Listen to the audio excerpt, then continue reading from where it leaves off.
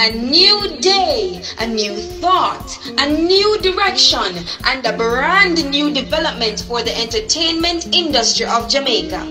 The EJA has come alive to represent the dancers, DJs, comedians, magicians, players of instruments, and others.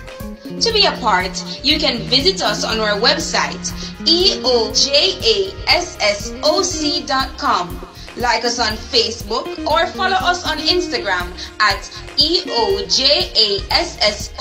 underscore and move with the movement. The EJA, putting our members first.